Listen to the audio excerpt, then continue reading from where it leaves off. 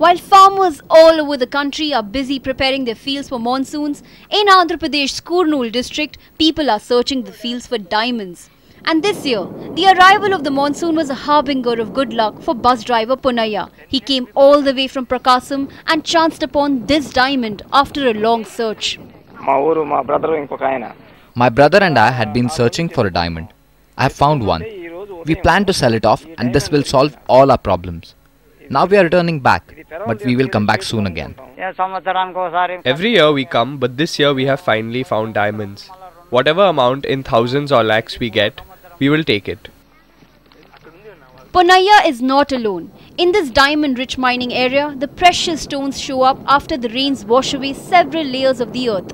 Not just farmers, but people from nearby districts shift base temporarily to these villages to try their chance. But not all are so lucky. Goshi Amma, who visits these fields every year, went back empty handed once again. हमें हीरा ढूंढे हमको मिला नहीं अभी। नहीं मिला? नहीं मिला। कितने सालों से आ रहे दो साल इसको दो साल। दो साल। हाँ दो साल।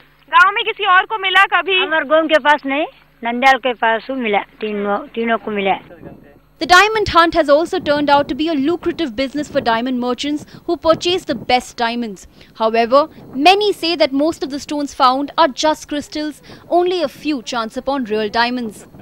दस हजार का मिलता बीस हजार का मिलता लाख का मिलता ऐसा गुंडकल में से इधर आग मिला है बोले सत्रह लाख को तो बोले पेपर में भी डाले ना सेवनटीन लाख को तो बोले ऐसा पाँच लाख दस लाख का भी मिलता रहता नसीब से छोटा पाँच हजार दस हजार में भी मिलता नसीब एक एक जना के एक नसीब ऐसा ही मिलता I too tried my luck hunting down the diamonds, but I guess I wasn't lucky enough.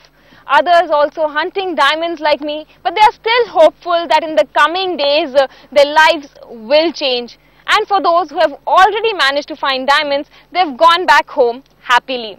With camera person Venkatesh, this is Sakshi Khanna in Kurnool for CNN IBN.